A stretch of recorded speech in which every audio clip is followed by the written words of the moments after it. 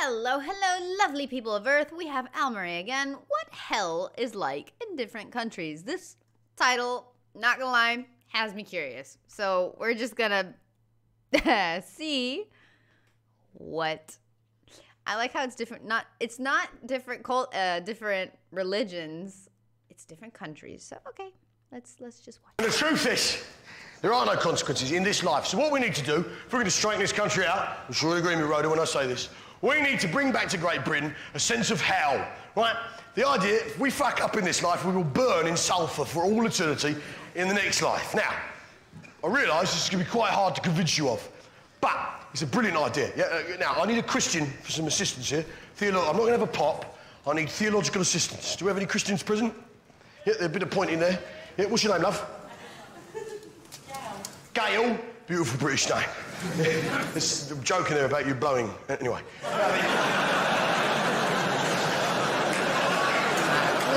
Can't be bothered with this. At this like stage of the evening. What you you blowing something off? Now the.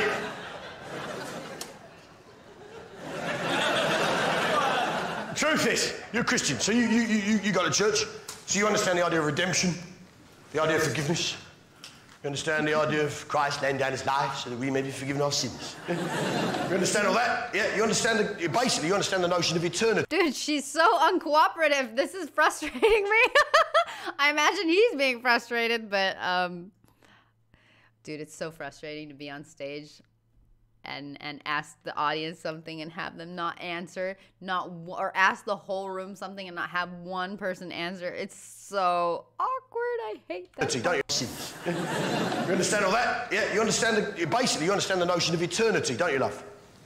Yeah, well, so do I, because I went to church last weekend. Let me tell you this, that service went on for fucking ever. Listen, right? If it took me 45 minutes to open the wine and get the bar snacks out, I'd be in the deepest fucking shit. now, the truth is, truth is, the problem with the idea of hell is no one's frightened of it anymore. I'm going to describe hell for you now, and you're not going to bat an eyelid, are you? You're not going to bat a fucking eyelid, yeah? Uh, here we go. And while your body's mouldering in the grave and the worms are eating your flesh, your soul will be taken to a place of eternal and infernal damnation and boiled in boiling oil for a thousand generations. Then after this, two sulphurous demons, emissaries of Satan himself, will come and pull out your kidneys and burn them on the red hot coals of hell until they're black. And another demon will come, he'll pull out your eyeballs and stick them on the red hot poker and shove them up your arse, and they'll come out your mouth. And this will really hurt and go on forever. None of you particularly bothered by that, are you? If that being a room full of Londoners, we're all thinking, well, come on then! Call yourself the fucking devil, you ponytail cunt! Come on! Whoa, that's a lot of people.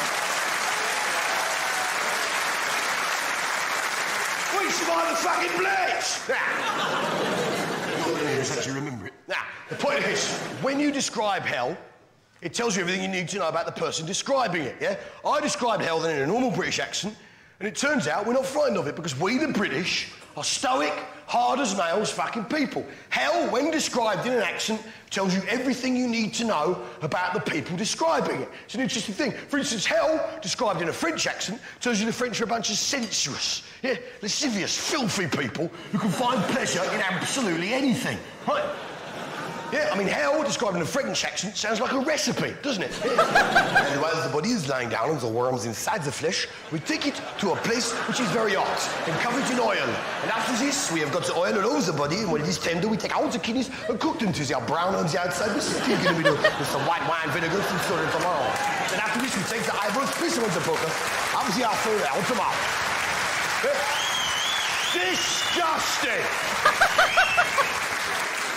In an American accent, sounds like a theme park, doesn't it? hey, while you're lying down, the worms are in your flesh. You'll be taken to a place of eternal and full damnation. Where your body will be covered in boiling oil, and two demons will come and out, take out your kidneys, and burn them on the red hot coals of hell itself. Then after this, another demon will come, pull out your eyeballs, place them on a red hot poker, stick them up your ass, and they'll come out your mouth. With a log flume. Hell in a German accent just simply sounds like a list of instructions. Hell. Hell in a Dutch accent sounds like a pretty good stag do, actually, doesn't it? hey, while you're lying down, the word germs inside you, yeah, we'll take you to the hottest place you can imagine. Imagine, imagine being so hot you can't stand it no longer. And then we cover your body in oil all over you. It's oil, you. Covered in oil, two demons, two together at the same time. That's right. Two of them. The Two accent he's demons doing, the doing- voice, the particular voice, and the way he's doing it reminds me so much of just the go-to voice of Ryan Stiles when he had to do a bunch of things on Whose Line Is It Anyway. It just my mind just brought that picture back. wanted to be two demons. We're coming to take out your kidneys for the pink and heart. this will cost you 40 euros. It's too much. But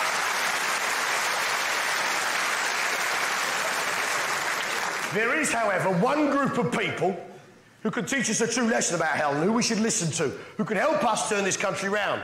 I am, of course, talking about Her Majesty's loyal and noble subjects, the Scots. Now, we got any jocks in tonight? Loads of jocks. Jock down there. What's your name, son? Jamie. Jamie. Beautiful British name. Comes from the ancient Celtic name meaning subject of the English. Now, tell me.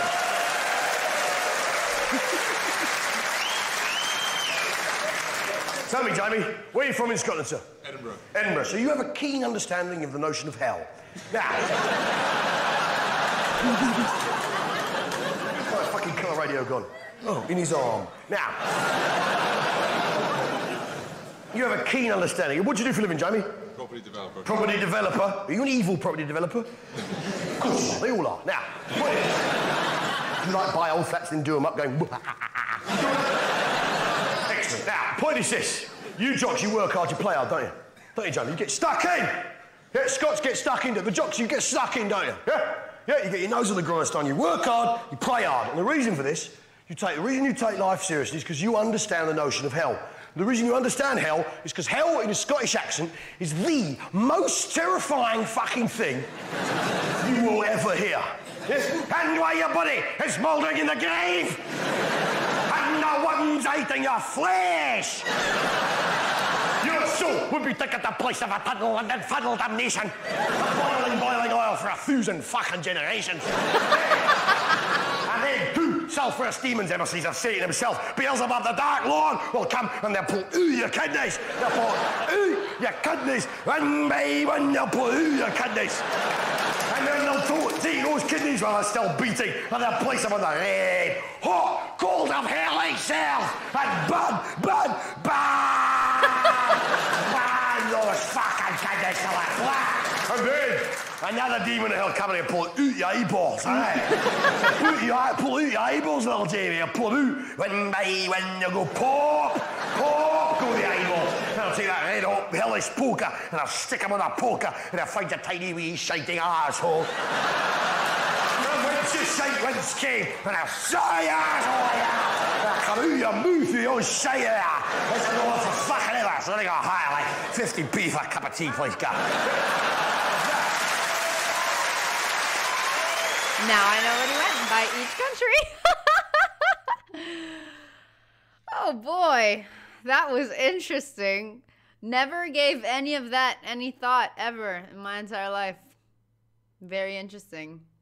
I I I, I wanted to hear the German accent and I kind of I don't know why. I thought for some reason he was going to go, you know, more worldwide and, and do more like a Chinese accent or something like that. I don't know why. I thought he was gonna go like you know further from where he is, and just more broad and and whatever. It doesn't matter. Very fun, very entertaining. He made a point. Definitely made a point. Um, makes you think, right? Yeah. You learn something new every day, people. anyway, guys, I hope you enjoyed. This is fun. I mean, why not? Definitely can watch more of this man. But for now, this is it. I am off. So, whatever you guys are off to do, have fun, enjoy life. Because if you're not enjoying life, what's the point? Goodbye, everybody.